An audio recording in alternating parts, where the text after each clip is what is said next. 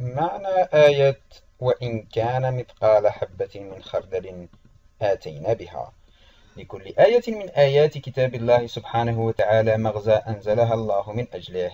لذلك يجب على المسلم تدبر معاني الآيات وخاصة الآيات التي تتحدث عن موقف من مواقف يوم القيامة. ومن هنا يتعين البحث عن معنى آية وإن كان مثقال حبة من خردل آتينا بها وما تشير إليه من فوائد.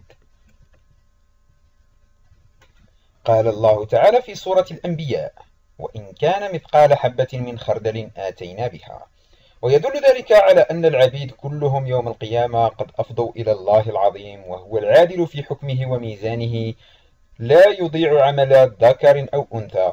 حسن ذلك العمل أو ساء وتنصب الموازين في ذلك اليوم فربما كان ميزانا واحدا لكل عبد له. كفتان توضع الحسنات في كفة والسيئات في كفة وربما كانت عدة موازين يوزن في كل ميزان صنف من أصناف أعمال العبد يوم القيامة. وقد ذهب بعض من أهل السلف وهم قتادة والضحاك ومجاهد أن الميزان هو عدل الله سبحانه وليس ثمة ميزان. ولكن المرجح هو القول الأول الذي يقضي بوجود الميزان ولكن الله هو أعلم بهيئته. وميزان الله لا يضيع أعمال العاملين من عبيده سواء كان ذكرا أو أنثى وسواء خف ذلك العمل أو ثقل من الحسنات والسيئات.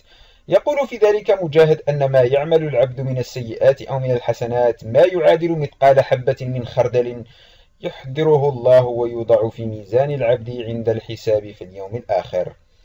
وقال ابن زيد في تأويل معنى آية إن كان مثقال حبة من خردل آتينا بها أي أن أعمال العبد كلها محصية له وتوزن في ميزان الله سبحانه فالله إن شاء عفى عن عبده وإن شاء أخذه بظلمه لنفسه. وأضاف مجاهد عن معنى آتينا بها أي جازينا بها. وأما معنى كلمة المثقال فهي الثقل أي الوزن فيقال مثقال الحبة أي وزنها ومقدارها. وأما الحبة فهي ما يخرج من السنبل وهي الواحدة من ثمر النبات. وأما الخردل فهو نوع من أنواع الشجر يطلق عليه اسم شجر الخردل. حبوبه صغيرة ودقيقة تشبه حبات السمسم. فحبة الخردل هي أخف الأشياء وأصغرها وأحقرها وأقلها وزنا. ومع ذلك فلو عمل ابن آدم مثقال تلك الحبة من الخير أو الشر سيوزن في ميزانه يوم القيامة ليجازيه سبحانه. إن خيرا فخير وإن شرا فشر. وقد روي في ذلك أن داود عليه السلام سأل ربه أن يريه الميزان فكانت كل كفة ما بين المشرق والمغرب فغشي على داود مما رأى. فلما أفاق قال لربه يا رب من يستطيع أن يملك كفته بالحسنات؟